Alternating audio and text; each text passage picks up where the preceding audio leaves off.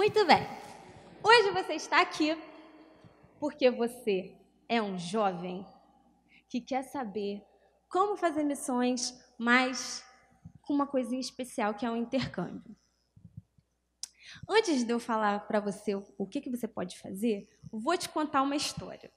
Antes, ah, não, antes, antes do antes, eu vou te falar meu nome. Eu sou Priscila, eu sou do Rio de Janeiro, carioca da Gema. Flamenguista, cadê o. Uh! Ah, agora sim, agora sim, gostei. Então eu vou te contar uma história do meu jeito. Essa história tá lá em Mateus 19. Tá em Marcos 10 também, tá em outra passagem de Lucas, mas eu li lá em Mateus 19. E era mais ou menos assim.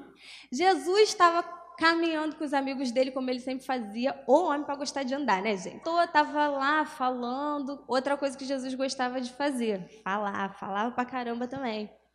Aí, o pessoal chegou e falou assim: Cara, eu vou levar meus filhos para Jesus dar aquela abençoada. Vamos levar as crianças, vamos levar as crianças. Vamos lá. Cheia de crianças, chegou um monte de menor para Jesus, para azucrinar Jesus. Aí a, a mente do discípulo: Caraca, cara, que que trouxeram essas crianças todas para cá? A gente sai, para de perturbar o mestre. Ele tem muita coisa importante para fazer. Aí Jesus olhou aquilo e falei: vocês não estão entendendo nada. Parou. Deixa vir a mim essas crianças, deixa a menosada chegar em mim. Jesus falou isso, quase isso. Eu imagino que era mais ou menos assim. E aí ele falou assim: o reino de Deus é delas e de quem for parecido com elas. E aí abençoou a menosada e mandou a menosada embora. Entendeu? Muitas vezes, é um, é um trecho assim, ó, desse tamanho na Bíblia. O resto é um monte de coisa grande. Mas eu acho que no coração de Deus, ele falou assim: eu tenho que incluir, eu tenho que fazer alguém incluir essas passagens, porque tem gente que está esquecendo da importância de criança, de adolescente, de jovem dentro da igreja. Imagina, eu sou do Rio, né, gente? Eu já falei para vocês. E como vocês sabem, o Rio não tapa peixe. Mas imagina se eu pudesse, você pudesse, alcançar uma geração inteira para Jesus. E hoje o peixe está espalhado em seis continentes. Todos esses pontinhos vermelhos aí que eu coloquei um por um no mapa, gente. Coloquei um por um para você saber que você pode falar de Jesus com o peixe em algum desses países. O peixe está é, aqui. Tem, a gente tem um time no Brasil é, que começou em 2002 e está baseado lá. Um time não, gente. A gente tem uma base lá em Natal. E agora a gente tem várias equipes lá e já temos uma equipe em São Paulo. E queremos ter uma equipe no Rio. Depende de você e de mim também. É, e aí vocês vão ver, está no Canadá, está nos Estados Unidos, está no Brasil, está na Alemanha, está na Irlanda do Norte, está na Inglaterra, está na Nigéria, em Gana, no Quênia e na África do Sul, na Nova Zelândia, na Austrália, na Índia e em alguns países onde a gente, que a gente não pode falar assim publicamente porque é muito perseguido. Mas se você entrar em contato e quiser saber muito, muito, muito, entre em contato lá, que alguém vai te falar, mas eu não posso falar aqui não. É, muito bem. É, vocês já ouviram falar de um conceito, um conceito, vamos dizer assim, chamado janela 414? Sabe? Então me explica aí, o que é o 414?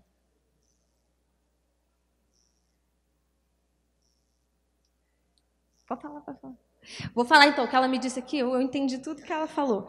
É, a janela 414, ela é baseada numa questão muito simples de que de uma estimativa de que 85% das pessoas do mundo se converteram entre 4 e 14 anos. Você lembra do dia que você se converteu? Pensa aí, busca aí na memória. Você tinha menos de quatro. Quem tinha menos de quatro anos, levanta a mão. Menos de quatro. Duas pessoas. Três. três. Quem. Quatro. Quem tinha mais de 14? Duas. Duas e meia. Agora, quem tinha entre 4 e 14 anos, levanta a mão. Oito em cada dez pessoas, tá? Basicamente isso. E por isso que o Paul Gibbs está tão é, preocupado em alcançar essas crianças. Eu, eu também aceitei Jesus, eu aceitei Jesus com oito anos. Eu nasci na igreja, mas eu tive que fazer essa decisão e tudo mais. Só com 13 anos mesmo que eu entendi o que, que aquilo significava. Então levou um tempo. Mas o dia que eu entendi o que, que significava servir a Cristo, na minha escola, eu fui líder do movimento de, de evangélicos na minha escola. É, depois eu tentei implantar Alfa Ômega, que agora é cru, né? Alfa uh! Lá na minha universidade. Saí, no ano que eu saí, conseguiram fazer o grupo, foi muito legal, orei muito lá. Hã? Unirio. Uh! e aí, é, e hoje eu tenho visto coisas maravilhosas acontecendo lá. E eu sempre penso: imagina se tivesse tido um missionário na minha escola me equipando para eu fazer mais e melhor. Eu sei que Deus me usou para fazer tudo o que eu podia fazer na escola, mas imagina se tivesse tido um missionário lá. E hoje eu quero desafiar vocês a serem essas pessoas que vão voltar para o chão da escola e vão ganhar crianças para Jesus, adolescentes e jovens, e vão ajudar eles a ganhar outras pessoas. Porque o missionário, ele não tem muita eficiência se só ele ganhar alma. A gente tem que fazer missionários. Essa é a coisa mais, a coisa mais importante, o maior legado que o missionário pode deixar na terra é fazer missionários. É alcançar a geração por tabela. Eu gosto de pensar assim. E aí ali tem um mapinha que é quanto da população mundial está entre 4 e 14 anos. No Brasil, tem entre 20 e 30, não é isso? Está entre 20 e 30. Nos países ali em vermelho, chega a 50% da população entre 4 e 14 anos. E nos verdes é onde tem menos, mas tem até 20%. Então, é muita população mundial entre 4 e 14 anos para a gente alcançar, certo? Show de bola. Muito bem. Agora eu vou falar um pouco o que, que acontece. Quando você entra para o PEIS, que agora você já sabe tudo do PEIS, você já sabe o que, que é, você assume um compromisso de um ano em que você vai ser um missionário de tempo integral. O chão, seu chão missionário vão ser as escolas e você vai tentar ser a conexão entre as crianças da escola e a igreja. Às vezes, isso eu falo por experiência própria, com muita felicidade, às vezes aquela criança vai colocar o pé dentro da igreja pela primeira vez e vai ser muito legal, vai ser legal pra caramba. Mas às vezes, aquela criança tem um pai ou uma mãe que não deixa ela ir para a igreja. E essa criança vai ser um missionário dentro da casa dela, dentro da sala de aula dela, e a gente vai ser a igreja que ela vai visitar toda semana quando a gente for na escola dela. A gente funciona basicamente como um polo avançado da igreja para muitas crianças, porque a igreja da semana dela é quando uma equipe do PEI chega na escola. Então ali tem mais algumas fotinhos do que a gente fez. É, a gente vai nas escolas, a gente também, aqui no Brasil especificamente, em alguns países é, em desenvolvimento, a gente vai nas comunidades carentes, é, que também muitas vezes pode estar assim a poucos metros da igreja, mas não tem essa conexão tão fácil por mil motivos. A gente vai nessas comunidades também. É, a gente vai para a rua fazer evangelismo. Ali, ali na, na coluna da esquerda, no segundo quadradinho, estou eu na rua segurando pirulito. E a gente ficava segurando pirulito. E aí, se alguém aceitasse pirulito, a gente falava com a pessoa. Falava de Jesus, falava da vida dela, do que ela quisesse falar. E aí, o, o grande, o grande é, lema, do, o coração do peixe é estabelecer relacionamentos. A gente não quer chegar, a gente pode, não estou falando que não pode, não. E eu já fiz isso também, gente. Fazer, eu só vou ver essa criança uma vez na minha vida, vou falar de Jesus para ela agora. Que eu nunca mais vou ver ela. Pode? Pode, está liberado. Mas o que a gente quer é fazer relacionamentos. Nessa ida semanal às escolas, quando a criança vem da escola para a igreja e a gente está lá para receber essa criança e ela vê um rosto conhecido, é isso que a gente quer. A gente quer relacionamento. A gente quer andar e caminhar com esse jovem, com esse adolescente, na caminhada dele com Cristo. A gente quer realmente participar disso. É, ali tem, tem, tem gente que veio de outro país para o Brasil e tem gente que foi do Brasil para outros países. O meu primeiro ano de PES foi na Irlanda do Norte. A Irlanda do Norte é um país marcado por uma guerra entre católicos e protestantes, mas não é uma guerrinha de Facebook, não é guerra de meme, não, gente. Era guerra séria, coisa séria. Então, é, muita gente morreu, e o, muita gente mesmo morreu. Vocês conhecem aquela coisa do Domingo Sangrento? O Bono Vox tem até uma música porque ele é da Irlanda, do, ele é lá da Irlanda. Então, é, era muito muito delicado falar de Jesus. E aí, você imagina um país que ficou protestante por constituição.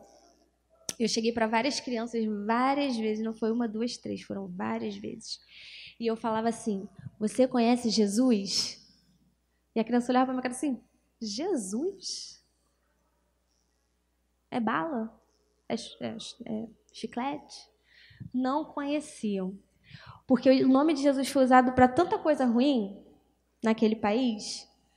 E ele precisa ser resgatado como um Deus de amor, um Deus de relacionamento. Essa geração, a geração hoje na Irlanda do Norte, é uma geração de crianças que não conhece Jesus. Porque durante muito tempo se abafou o assunto para que não houvesse mais guerra. É, eu fico até assim, movida, coração, porque eu amo muito aquele lugar, eu oro muito por aquele lugar. E vi coisas maravilhosas acontecendo lá pelo simples fato de apresentar Jesus para uma criança. Depois do meu primeiro ano no PES, eu voltei e servi no, com o PES Brasil, é, na, lá em Natal. As crianças aqui no Brasil têm outros problemas. São crianças extremamente evangelizadas. Elas sabiam todas as histórias bíblicas. Eu chegava contando minhas histórias assim do meu jeito, carioca de ser, elas já sabiam todos os personagens. Eu ficava como? Caraca, não dá para contar uma história para essas crianças. Ficava decepcionada para o bem, mas ficava, assim, que eu, a minha história não era assim grande surpresa. Mas eram crianças que viviam em extrema pobreza material. Crianças que, quando a gente ia visitar, a gente precisava levar água, porque elas não têm água potável para beber. Imagina que adulta essa criança vai se tornar. Tanto a criança da Irlanda do Norte quanto a criança aqui do Brasil. Eu não quero ver isso acontecer. E eu oro todo dia para Deus. Seja lá o que você vai fazer nessa geração, eu quero estar tá dentro, eu quero estar tá no meio, eu quero estar tá lá fazendo com você. Muito bem. É, o PES, ele tem três distintivos. A gente fala três distintivos básicos. São três é, pequenas diferenças que a gente foca muito, que é missão, discipulado e estudo. Para a missão, a gente não quer ter mais um, um programa ou, ou mais assim uma coisa pontual, tipo, ah, vamos ali evangelizar e voltar para casa daqui a três meses a gente evangeliza de novo. Não. A gente quer equipar essa criança e quer que você também seja uma pessoa que vive missões 24 horas por dia, sete dias na semana. A gente quer ter uma vida missional. A gente às vezes não precisa sair do lugar onde a gente mora para ser missionário. E essa criança precisa entender que ela ainda não tem 18 anos, não pode sair por aí enlouquecida na vida, que ela pode ser um missionário onde ela está. Outra coisa que a gente faz muito é discipulado. Eu não sei qual a ideia que vocês têm de discipulado. Eu tinha uma previamente, antes de conhecer o peixe, que era sentar e estudar as histórias bíblicas e tirar uma lição, tipo fábula, né? E no final, a história de hoje nos ensinou o quê? Não devemos maltratar os, os nossos amigos nem os inimigos. Eu estudava um pouco assim, gente, vou ser sincera com vocês. E no PES eu aprendi que discipulado é caminhar junto é aprender junto, é fazer junto. Às vezes é errar junto e parar e pensar: o que, que, que deu errado aqui? vamos fazer de novo, vamos fazer como. Discipulado é ouvir o outro, porque as crianças têm muita coisa para ensinar. Discipulado é é viver, é se divertir junto, é ser amigo, é ser companheiro, é ser parceiro. E aí, no PES, o discipulado ele tem dois níveis, né? Um em que o missionário é discipulado por alguém mais antigo, e um que o, que o, que o missionário discipula pelo menos três crianças durante o ano. E aí é a melhor parte. A melhor parte. Mas eu vou falar disso um pouco mais à frente. E o terceiro é o estudo. É, o peixe, e esse eu também acho muito legal. Gente, desculpa se eu sou assim muito apaixonada pelo peixe. Eu acho tudo do peixe muito legal. Então, aí, me desculpa, tá? Por isso, mas eu vou falar assim mesmo. O estudo, o peixe quer mudar aquela questão de vamos estudar tópicos, vamos fazer esse questionáriozinho da revista e quer levar você a mergulhar na palavra de Deus e descobrir o que ela fala para você hoje. O que ela representa, o que ela significa na nossa vida de hoje. E aí a gente tem uma coisa que se chama Raverim Devocionais, ou Devocionais Raverim, em que a gente estuda junto, que a gente faz muitas coisas loucas para tentar entender o coração de Deus por trás de cada mensagem. No Missão, agora eu vou falar mais pausadamente sobre cada um. No Missão, a gente tem é, uma coisa chamada Por que Você é Amado, que é, é uma iniciativa dividida em três partes. Durante o ano, você vai fazer três grandes eventos culminantes é, de, sobre missões. São ferramentas simples que a gente dá para as crianças para que elas possam compartilhar Jesus no dia a dia delas. O primeiro é o desafio de amar. A gente pega uma semana do ano e desafia a criança a fazer cinco coisas. E agora, Gabriel, esse é para você, hein? Para você ficar sabendo. No primeiro dia, a gente vai impulsionar essa criança a falar coisas boas para os outros. Coisas boas, gente. Você já falou alguma coisa boa para alguém hoje? Já elogiou? A pessoa aí que veio com você para cá você vendo, falou que ela tá bonita, que ela tá cheirosa. Mais do que isso, falou que ela tem um dom de liderança, que ela é uma pessoa que tem uma palavra maneira. Já falou isso para as pessoas? A gente vai tirar um dia no desafio de amar para fazer isso. No outro dia a gente vai fazer atos de caridade. No outro dia a gente vai fazer atos de compaixão. Porque a caridade está ligada ao imediato, está ligada ao seu próximo. Mas a compaixão está ligada a, um, a, pessoas que você não pode ver. Então vamos, vamos, sei lá, vamos juntar uma galera para angariar uns alimentos aí para dar naquele orfanato que a gente nunca foi. Isso com as crianças. Vamos, pô, vamos reunir um grupo de oração hoje aqui para orar por, por algumas pessoas que passarem aqui pela, pelo nosso corredor da escola hoje? E aí, no último dia, você vai fazer um evento de trazer a pessoa é, para uma festa que você vai fazer na igreja muito louca. E vocês vão se divertir, se conectar. É o dia da conexão. Às vezes, para muitas crianças, é o primeiro dia. Esse é o primeiro dia que elas entram na igreja. Depois, a gente vai ensinar as crianças, no Quem Ama Você, a dividir o testemunho delas. A gente vai pedir para elas fazerem vídeos de um minuto, um minuto e meio no máximo, compartilhando o testemunho delas nas redes sociais, que está todo mundo conectado.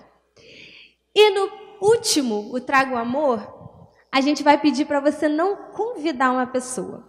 Eu já convidei várias pessoas para a igreja, mas a pessoa vai na igreja quando eu bato na porta dela e falo: já está pronta para o culto? Estou aqui para te buscar. Então, em vez de convidar, a gente vai buscar as pessoas. Para os missionários, claro que pode ser um pouco mais organizado, você pode organizar um ônibus, uma Kombi, uma van para buscar muita gente. Mas para a criança na escola, que tal, Gabriel, você não ir na casa de um amigo que ainda não conhece Jesus e falar para ele: vim te buscar para ir na igreja hoje. Hoje a gente não vai soltar pipa, não, hoje a gente vai, na, vai no culto. Não ia ser maneiro? Ele vai com certeza, seus amigos vão com certeza. E aí é basicamente isso. São três momentos no ano que a gente equipa as crianças dessa forma. No, no discipulado, a gente vai tentar, como eu disse, caminhar com as crianças.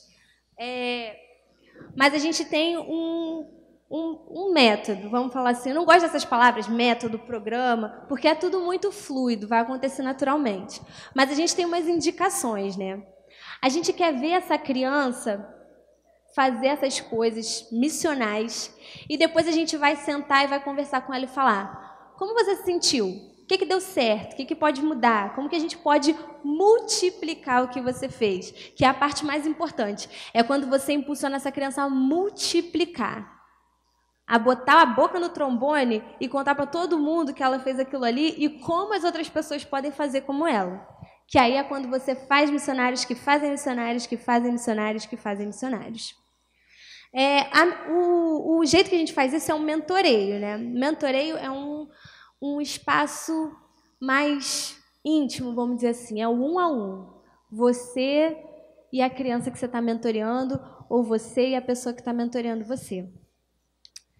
Eu vou contar uma experiência de mentoreio que eu tive, muito engraçada, que me fez reclamar muito durante uns, uns bons meses.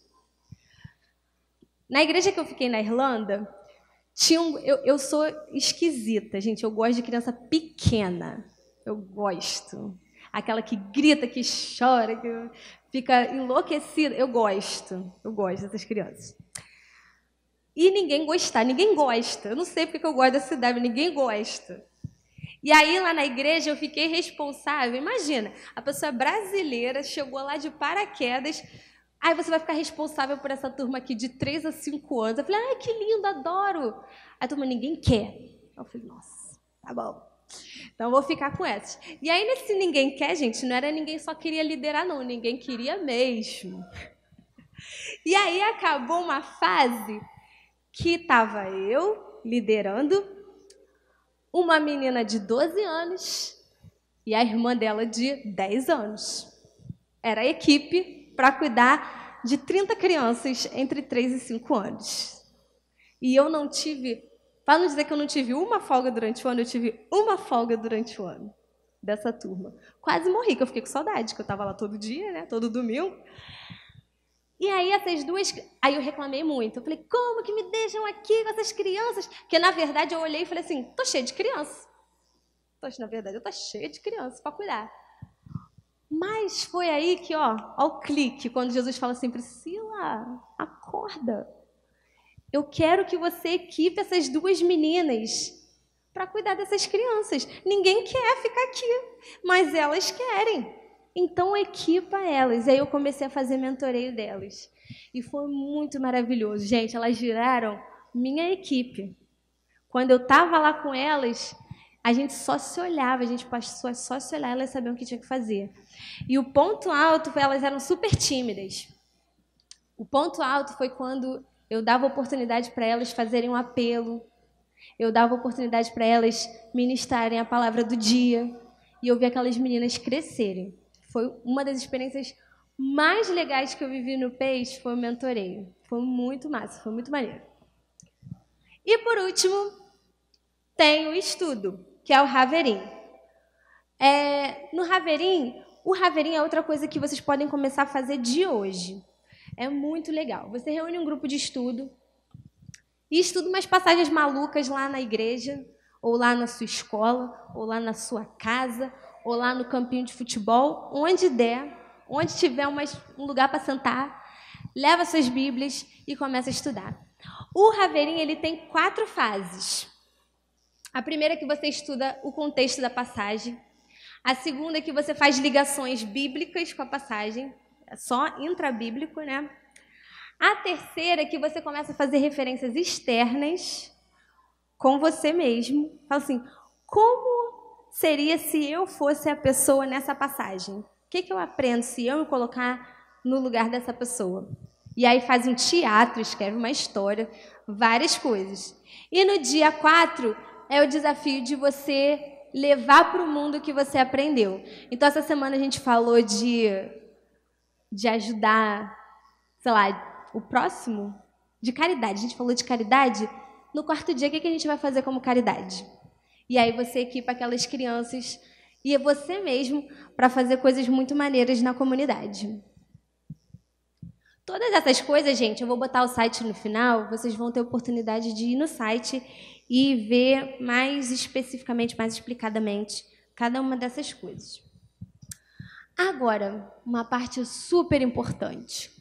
Como fazer parte? Você me ouviu falar aqui o dia inteiro, mas o que você quer saber mesmo é como você pode ser um pacer, um participante do PACE. Eu vou começar pelo, pelo final, né? Aqui só tem jovem, então vou começar pelo final para vocês. Isso aqui é para vocês falarem para as outras pessoas. Vou começar pelo dinheiro. A gente precisa do dinheiro, gente. Todo mundo. Todo mundo precisa de dinheiro nesse mundo. É uma coisa que eu tenho que falar. Mas o peixe precisa do seu dinheiro. Precisa. Precisa das suas orações? Precisa. Quando for orar, não, não esquece de orar pelo peixe. Mas essa é a parte menos importante, tá? Deixa eu falar. É importante, mas é a parte menos importante. O PES precisa de uma igreja, de igrejas, que queiram fazer parte desse projeto. O PES ele não tem uma base, ele não tem um escritório, ele não tem um nada. Ele tem uma equipe quando uma igreja abre a porta. Se a sua igreja abrir a porta e receber uma equipe do PES, a sua igreja é a base do PES. Porque esses missionários vão para fazer parte da sua igreja durante um ano. É a casa deles, é a igreja deles. Eles não têm outro lugar para ir, coitadinhos. Aquele ali, aquela ali é a base deles. E isso é uma das melhores coisas, porque o missionário faz parte da comunidade que ele está querendo alcançar. O peixe precisa de famílias hospedeiras ou famílias de hospedagem. Outra coisa que o missionário do peixe não tem é um lugar para ficar. O lugar que ele tem para ficar é a casa do irmãozinho da igreja, da irmã da igreja. Então, digam para as pessoas aí, ó, quem tem, pensa aí na sua cabeça, quem tem um quarto sobrando na minha casa ou na casa de alguém que eu conheço, uma cama, porque pode ser quarto dividido. Bota um missionário na tua casa. Leva um missionário dentro da tua casa hoje. Pensa nisso. Fala com seus pais, fala com as pessoas que são responsáveis por você. Se você tem uma casa, pensa nisso. Que vai, é, é uma coisa super importante para o peixe. E agora, por último e mais importante, como você pode fazer parte do peixe. O peixe começou ele era só Pace Project, que é essa parte que vai para as escolas, que alcança as crianças. Mas o negócio ficou tão frenético que neguinho não quer sair do PES, gente. É um negócio que te prende, tu fica. Aí tu vai para a universidade tu fala, quero PES na universidade. Aí nasceu o PES azulzinho ali, que é o Collective. Então, se você quer levar Jesus dentro da sua universidade de um jeito do PES, você pode ir para o PES Collective. Aí vamos dizer que você se formou e ainda não quer sair do peixe, porque o negócio te gruda de um tal, tal maneira que você fala, cara, eu vou trabalhar, mas eu não quero largar o peixe. Aí inventaram o peixe business, que aí você faz o quê? Leva o peixe para o seu ambiente de trabalho. E por último, tem aquelas pessoas que falam, cara, gostei tanto do peixe que eu quero viver do ministério. E aí volta para trabalhar na igreja. O PACE não se esqueceu dessas pessoas e fez o PACE Infrastructure, que vai treinar você a ser um, um líder, né? um líder de jovens, vai te equipar com tudo que você precisa saber é, como um líder de uma igreja para alcançar a sua comunidade com essas coisas que o PACE sabe fazer. A gente precisa muito de pessoas a gente precisa do dinheiro, sabe? Tudo que eu falei. Mas a gente precisa muito mais de você, desse seu corpinho. É disso que a gente precisa. Sabe por quê? Porque todo ano o PES ele abre novos, novos times em alguns lugares. Por outro lado, quando ele abre um time, às vezes três em outro país estão fechando porque não tinha gente. Às vezes, isso acho que é o mais dolorido é quando a gente tem que dizer não para uma oportunidade porque a gente não tem gente para mandar. E a gente fala assim: caraca, não vai dar. É a coisa mais sofrida. Acho que a gente fica chorando três dias depois disso. Eu tentei, quando eu, quando eu voltei do país natal, eu tentei abrir um time no Rio. E eu fiquei nessa disposição aí uns oito meses. Faltou gente. Só tinha, não existe equipe de um, né, gente? Era só eu. Muitos problemas para enviar pessoas para o Rio. E aí eu estou pedindo para você de verdade. Não sei se vai ser peixe que você vai fazer, seja lá o que for. Doe um ano da sua vida. Porque tem lugares que precisam ser alcançados e é a gente que tem que se disponibilizar. Eu tenho os minutos finais aqui, antes de vocês fazerem mais perguntas. E eu vou fazer uma coisa muito doida. Falei para vocês. Não, não contei essa história para vocês, não. Eu acabei indo para o PEIS, porque um dia eu fui no congresso da Alfiômega. muito doido, lá na Bahia, foi muito bom. Tempo pra caraca. Tô velha, não, gente, mas foi muito tempo. Eu tinha 20 anos. E eu fui nesse congresso, e num púlpito como esse, um missionário da Alfiômega falou assim: Eu vou fazer um desafio para você. Eu quero te desafiar a doar um ano, pelo menos um ano da sua vida, em missões integrais. Conversa aí com Deus. E você pode começar a conversar com Ele para ser uma coisa racional, porque eu vou fazer o mesmo desafio para você. Não faz pela emoção. Não faz porque, pô, é maneiro pra caramba. É maneiro pra caramba, mas não faz por isso, não. Também. Tem motivos fortes para isso. Desde aquele dia, foi o dia que eu comecei a me organizar, a me planejar, a guardar dinheiro, porque precisa. É... Ah, eu vou falar sobre dinheiro daqui a pouco também. Você, talvez você esteja no meio de uma faculdade ou de um ensino médio que você precisa terminar, não sei. Talvez você precise ainda fazer 18 anos, ter que dar uma esperada para ir para o peixe, mas fica ó, se planejando, se preparando. É, mas eu quero te desafiar hoje. Fecha seu olho, esquece quem está do lado, esquece quem veio com você. Eu quero desafiar você hoje e quero que você faça uma coisa é, visível. Quero que você levante sua mão, levante, dê três pulinhos, o que você quiser fazer. Se você quiser aceitar o desafio de doar um ano missionário, um ano em missões integrais. Não faz isso na pressão, tu tem 30 segundos para decidir, mas sem pressão. É, pensa, fala com Deus. Porque a partir desse momento, quando você decidir isso, a sua vida passa a ser voltada para isso. Você pode começar a fazer alguma coisa visível para ninguém tá, ninguém mais está vendo. Eu tô de olho eu tô de olho aberto só para ver. Show, show. Eu quero orar por eu quero orar por você. Eu quero consagrar e separar sua vida para Deus. Porque a partir de hoje, você tem um propósito muito sério. Não que você não tenha tido sua vida toda, mas a partir de hoje, a coisa muito séria. É colocar Deus em primeiro lugar, acima de tudo mesmo. Acima de tudo mesmo. Quando eu fui para a Irlanda, no meu primeiro ano, eu estava noiva. Eu fiquei noiva, dois meses depois eu fui para a Irlanda. Larguei meu noivo aqui, gente, voltei só para casar. Foi abrir mão de verdade mas foi o melhor ano.